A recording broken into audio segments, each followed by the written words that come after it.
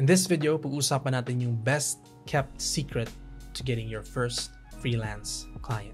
Hey, what's up everyone? John here. I make videos about freelancing, content creation, and personal development. And in this video, i-share ko sa inyo yung best kept secret that I have learned to help you get your first freelance client.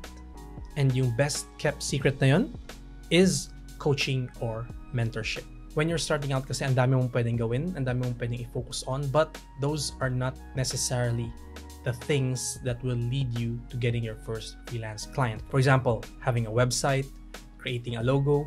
I mean, those are all good things for branding, but when you're just starting out, you need to focus on a few key things in order to speed up the process of getting your first client. And that's where the value of having a coach or mentor is so important because you have somebody who has been there, who has achieved the type of success na gusto mo rin ma-achieve and he or she can guide you accordingly. So yung mentorship actually has three levels. So yung most well known when we say coaching and mentoring is syempre somebody who is at a higher level than you, somebody na you want to emulate, somebody na gusto mo gayahin yung career niya, yung freelancing niya. But that is just one level.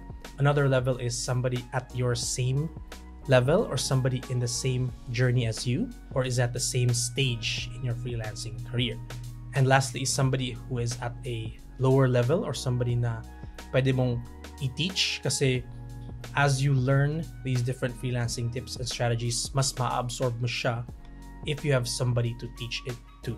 So those are the three levels of mentorship. You don't need all three at once, of course, but ideally I would recommend having that mentor, that coach who is at a higher level than you, who is at where you want to be to help guide you because mas mapapadali talaga yung freelancing journey mo when you have somebody there who's actually done it and can guide you step by step. So with that being said, I'm actually offering a one-on-one coaching program this November because I want to help out fellow freelancers, especially those who are starting out, uh, particularly employees who are looking to transition or newbie freelancers na wala pang nakuha client.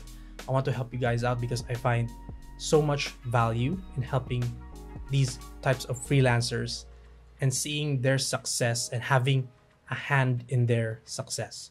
So, if you guys are interested in a one-on-one coaching program where we go through the different stages of yung freelancing journey on certain steps na you should be focusing on at certain times so that we can speed up your process of getting your first freelancing client, please click the link below. I'm going to leave its uh, description box and in the pinned comments. So if you're interested, I would love to work with you. I would love to learn more about your situation and see if we are a good fit for a one on one coaching program. If you want to learn more about freelancing tips, strategies, and mindset, check out the video on the screen right now.